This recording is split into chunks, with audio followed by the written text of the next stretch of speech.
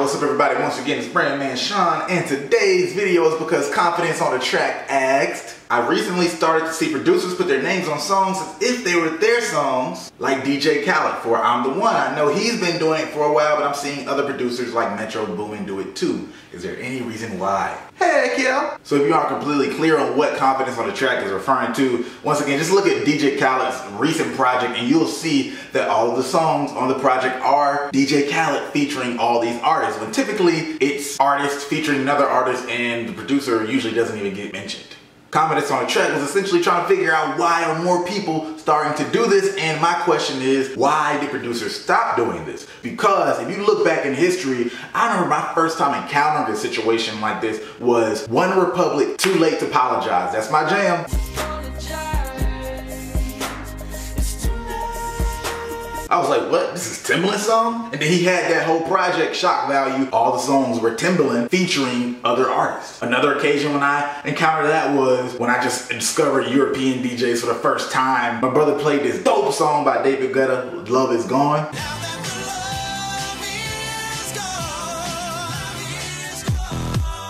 when I looked up the song for myself, all right, I'm like, yo, I love this song, I love this song. Oh, there's another song by David Guetta. And then there's a girl singing on it. I'm like, wait, what? How's it still David Guetta? And then I start to realize all the songs are different people, but the same name is there because the producer. So people have been doing that for a while. And we'll get to the benefits and how to do it best in a second. But first, I want to take it back to hip hop. In hip hop, they didn't use the word producer, they were using the word DJ because a lot of times it was DJs in the early 90s and early 2000s. But you you can look at DJ Khaled, Don Cannon, DJ Envy, DJ Whoo Kid. They had these things what they would call mixtapes. And a lot of people would get the name mixtape DJ. And what were they doing essentially? Some people were taking existing songs and then mix them up, you know, and make it sound a little different, which was cool because it was at least songs people already liked. But it became even more powerful when people started to bring in artists for exclusive verses because these DJs being in the club, they would develop a lot of good clout with a lot of these artists. So then for playing their tracks in the club, they would get a return of the favor by the artist actually doing a verse on their mixtape. So now you got this exclusive verse,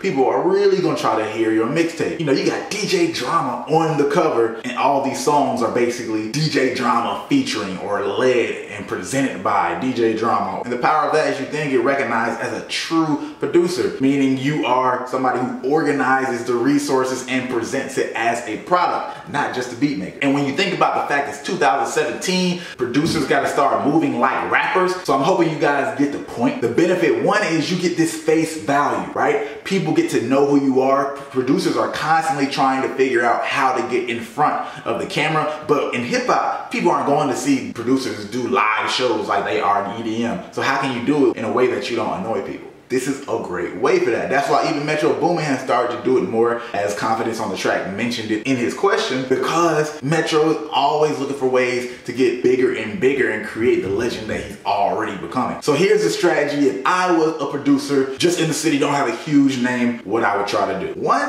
I'm gonna get artists locally to be on my project. I'm gonna come up with a project and I'm going to give them free studio time basically and give them a free song basically, which is going to go over my project. Maybe you gotta exchange song for song, whatever, but I'm gonna get these exclusive verses and when I pick all these different artists and put them on a project together, doesn't have to be necessarily the same song, you know, people might not like each other, but they're all gonna be on the same project and you get all their fan bases looking at you, right? Because each artist is gonna send their fan base your direction when the mixtape comes out because they want them to hear that song. And now who's on the cover or whose name or logo is on the cover? Yours the producer, or mine because I'm playing producer right now. This is constantly building my clout as a producer and a brand because more people recognize it and then more artists are probably going to even try to work with the person. Take it up another notch, why not try to get a big name? Of course, it's possible to do this without a big name and still get a lot of benefit from it, but it might be even easier to sell to other artists that you might not have a relationship to be on the project if you have a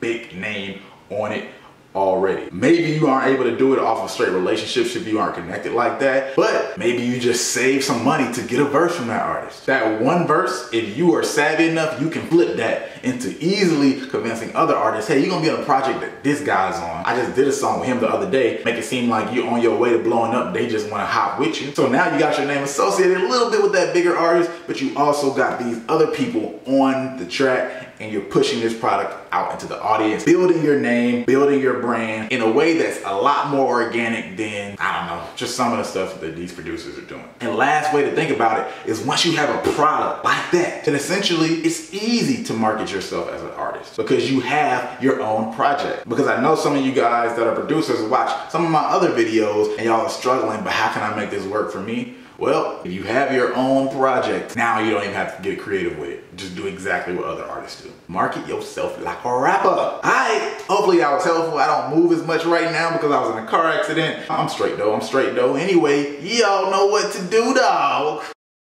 Hit that subscribe button.